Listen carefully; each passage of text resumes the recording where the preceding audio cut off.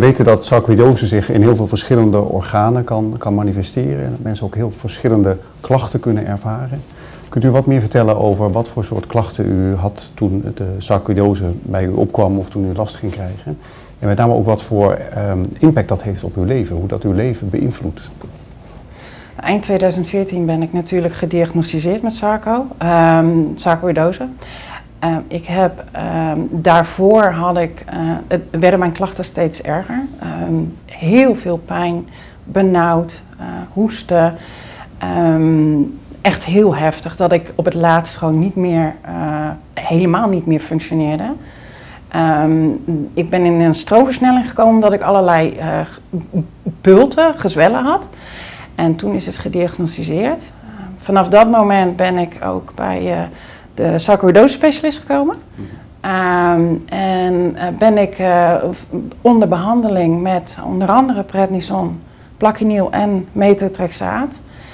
Dat maakt in ieder geval dat het um, een stuk beter is. Het, is nog wel, het gaat wel op en neer mm -hmm. met echt de meest uiteenlopende klachten. Mm -hmm. Maar het is niet meer zo dat ik um, constant die pijn heb en die benauwdheid en Um, maar wel een aantal dingen wat altijd voorsleept. Zoals echt een extreme vermoeidheid. En de verwardheid is uh, ook behoorlijk. Vergeetachtigheid, dat is echt enorm.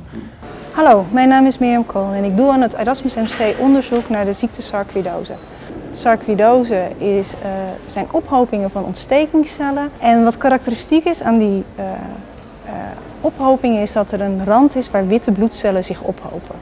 In voorgaand onderzoek hebben wij gevonden dat in die witte bloedcellen mogelijk een voorspellende cel zit, welke kan zeggen of een patiënt chronisch ziek wordt of dat een patiënt weer beter zal worden. Sarcoïdose komt ongeveer bij 3000 patiënten in Nederland voor.